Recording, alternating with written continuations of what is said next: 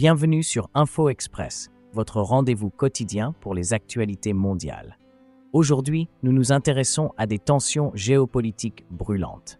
D'un côté, l'opposition d'Israël à la participation de l'Algérie à une conférence organisée en France sur la situation au Liban, et de l'autre, une dégradation rapide des relations entre l'Algérie et les Émirats arabes unis sur fond de divergences politiques et diplomatiques. Accrochez-vous, car ces conflits internationaux pourraient avoir des conséquences majeures sur la scène mondiale.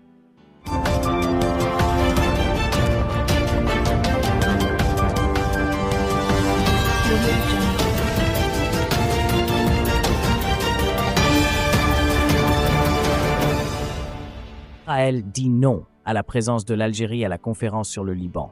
Une tension explosive en France. Emmanuel Macron cherche à organiser une conférence pour aborder la crise politique et économique qui ravage le Liban. Un pays en proie à des conflits internes, une économie en ruine et une influence étrangère de plus en plus pesante.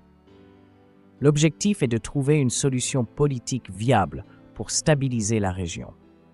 Toutefois, cette initiative diplomatique se heurte à une vive opposition de la part du Premier ministre israélien Benjamin Netanyahou, qui voit d'un très mauvais œil la participation de l'Algérie à cette conférence. Pourquoi cette opposition? Historiquement, l'Algérie est un fervent soutien de la cause palestinienne et se place régulièrement en désaccord avec la politique israélienne. L'Algérie n'a d'ailleurs jamais reconnu l'État d'Israël. De plus, l'Algérie accuse Israël de s'ingérer dans les affaires du Moyen-Orient pour servir ses propres intérêts stratégiques, notamment en matière de sécurité et d'influence régionale. Netanyahou a donc exprimé clairement sa désapprobation vis-à-vis de la présence algérienne, insistant sur le fait que l'Algérie reste un des plus farouches opposants à l'État hébreu et un soutien inconditionnel à la cause palestinienne.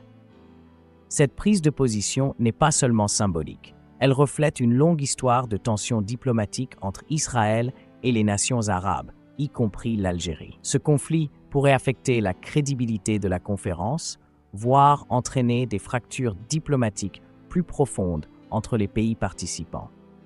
D'autre part, cette situation met également la France dans une position délicate en tant que pays hôte.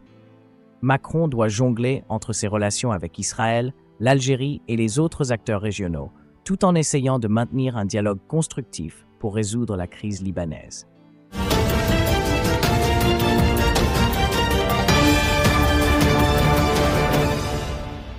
Crise majeure entre l'Algérie et les Émirats. Les tensions s'enflamment. La diplomatie arabe est également mise à rude épreuve avec la montée des tensions entre l'Algérie et les Émirats arabes unis. Tout a commencé avec des divergences sur des dossiers chauds comme la Libye, le Soudan et plus récemment le Sahara occidental. Les Émirats, sous l'impulsion du prince héritier Mohamed Ben Zayed, ont consolidé leur influence dans la région en soutenant des régimes et factions favorables à leurs intérêts stratégiques. Ce positionnement a irrité Alger, qui voit dans ses interventions une tentative de déstabilisation des pays arabes, notamment la Libye. En avril dernier, le président algérien Abdelmajid Tebboune a ouvertement critiqué l'influence grandissante des Émirats arabes unis dans le monde arabe. Il les accuse d'utiliser leur puissance financière pour influencer des conflits en Afrique du Nord et au Sahel, notamment en soutenant des factions qui s'opposent aux intérêts algériens. Tebboune a déclaré que l'argent des Émirats est derrière presque tous les conflits en Afrique du Nord, du Mali au Soudan. Ces accusations sont lourdes et mettent en lumière la lutte d'influence régionale entre ces deux nations.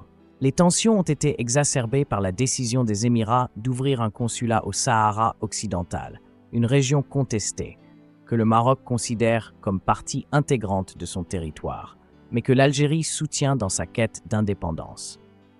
Ce geste est perçu par Alger comme une provocation directe, s'inscrivant dans un soutien explicite aux intérêts marocains, rivaux de l'Algérie. Cette prise de position unilatérale n'a fait qu'envenimer les relations entre Alger et Abu Dhabi. De plus, les Émirats ont renforcé leurs liens avec Israël en reconnaissant officiellement l'État hébreu dans le cadre des accords d'Abraham en 2020. Cette normalisation des relations avec Israël a été mal perçue par l'Algérie, qui s'est toujours opposée à toute reconnaissance d'Israël sans résolution préalable du conflit israélo-palestinien.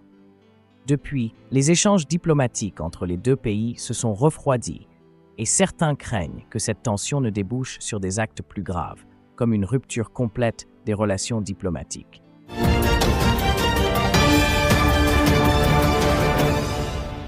Ces deux situations révèlent les tensions profondes qui animent le Moyen-Orient et l'Afrique du Nord.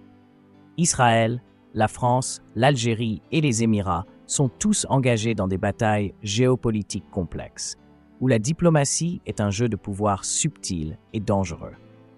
À l'heure où le monde est de plus en plus interconnecté, ces conflits peuvent avoir des répercussions au-delà de leurs frontières, influençant des alliances, des guerres par procuration et le destin de millions de personnes.